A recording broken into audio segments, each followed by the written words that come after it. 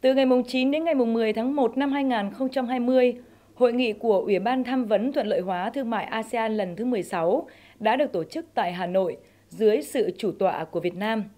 Đây là hội nghị đầu tiên của năm 2020 thuộc kênh kinh tế do Bộ Công Thương phụ trách. Đoàn Việt Nam tham dự hội nghị bao gồm đại diện của các Bộ Công Thương, Tài chính, Khoa học và Công nghệ và một số cơ quan liên quan.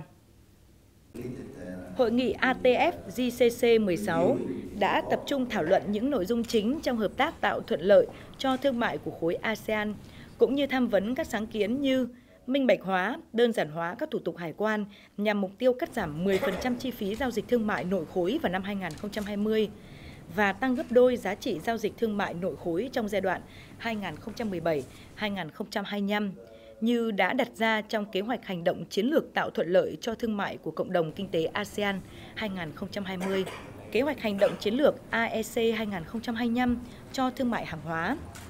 Với vai trò chủ tịch, Việt Nam đã chủ động, linh hoạt trong quá trình điều phối cuộc họp, tích cực tham vấn quan điểm của các nước ASEAN. Ban thư ký ASEAN cũng như các đối tác và đại diện cơ quan chuyên ngành của ASEAN một trong những hoạt động quan trọng của hội nghị là phối hợp hoạt động giữa các nhóm công tác chuyên ngành trong ASEAN để đảm bảo mục tiêu chung là tạo thuận lợi cho thương mại, thúc đẩy thương mại và đầu tư nội khối.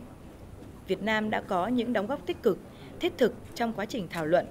Các kết quả chính của hội nghị sẽ được báo cáo lên hội nghị các quan chức cấp cao ASEAN lần thứ nhất năm 2020, được tổ chức tại Hà Nội trong những ngày tới.